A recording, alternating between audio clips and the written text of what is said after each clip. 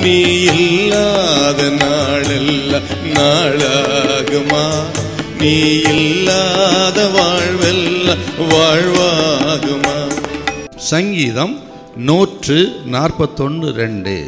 என் விண்ணப்பம் உமக்கு முன்பாக தூபமாகவும் என் விண்ணப்பம் உமக்கு முன்பாக தூபமாகவும் என் கையெடுப்பு அந்திப்பலியாகவும் இருக்க கடவுது என் கையெடுப்பு அந்திபலியாகவும் இருக்க கடவது தாவிது இந்த ஜெபத்தை ஒரு தூபமாக பார்க்கிறார் அவர். இதை சொல்லும் பொழுது தாவீது தேவாலயத்தை விட்டு எங்கோ இருக்கிறார். சவுலினால் துரத்தப்பட்டு ஆசரிப்பு கூடாரத்துக்கு போக முடியாத நிலைமையில அவர் எங்கோ தூரத்தில் ஒருவேளை குகையில் இருந்திருக்கலாம் மலையில் இருந்திருக்கலாம் வனாந்தரத்தில் இருந்திருக்கலாம். அப்படி ஆலயத்தை விட்டு தூரமாக இருக்கும் பொழுது அங்கே ஆலயம் இல்லை ஆசாரியன் இல்லை பலிபீடம் இல்லை பலி இல்லை. ஆனால் அவர் இந்த இடத்துல தூபத்தை குறித்து பேசுகிறாருன்னா என்ன அர்த்தம் கேட்டால் ஆண்டவரே நான் இருக்கிற இடத்துல எனக்கு ஆலயம் இல்லை ஆசாரியன் இல்லை பலியும் இல்லை.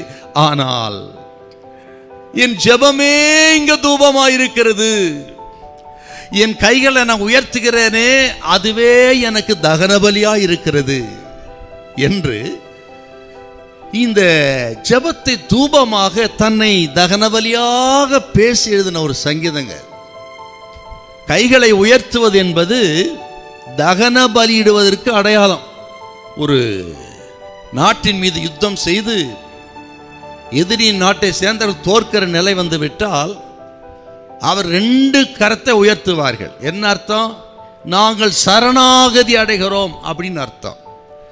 அப்படியானால் நமது வாழ்க்கையில் ரெண்டு கரத்தை நான் உயர்த்துகிறோம் என்று சொன்னால் இதோ நான் ஆண்டவருக்கு சரணாகதி. அப்படி ஜெபத்தையும் தன் கரங்களை உயர்த்துவதுமே அவர் தூபமாக தகனபலியாக நினைத்து ஆண்டவர் நோக்கி பண்ணுகிற ஜெபம் இந்த நூற்றி நாற்பத்தி ஓராம் சங்கீதம் இந்த ஆசாரியன் தூபம் போடும்போது ஒவ்வொரு நாளும் காலைல மாலையில் முதல்ல என்ன செய்வான்னா நேற்று தினத்தில் அவன் தூபம் போட்டான் பார்த்தீங்களா அந்த சாம்பல் வந்து அந்த தூபபீடத்து மேலே இருக்கும். அந்த பழைய சாம்பலை முதல்ல அவன் அகற்றிவிட்டு தான் புதிதாக தூபம் விடுவான் அதான் முறை. அப்படி என்றால் நம்ம ஜெபங்களில் முதல்ல செய்ய வேண்டியது எதெல்லாம் அகற்ற வேண்டுமோ அதெல்லாம் அகற்ற வேண்டும். கடந்த காலங்களிலே செய்த குற்றங்கள் குறைகள் பாவங்கள் அநியாயங்கள் கர்த்தருக்கு பிரியமில்லாத காரியத்தை முதல்ல அகற்ற வேண்டும்.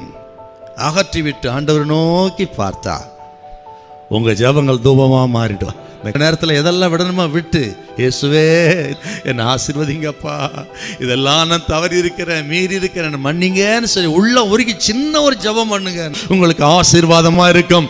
எப்பொழுதும் எல்லாவற்றிலும் வெற்றியை கொடுக்கிற ஆண்டவர் உங்களுக்கு ஜபத்தில் வெற்றியை கொடுப்பார். உங்களுக்கு ஜபத்தில் ஜெயத்தை கொடுக்க கர்த்தர் வல்லவர். ஹலலோயா ஹலலோயா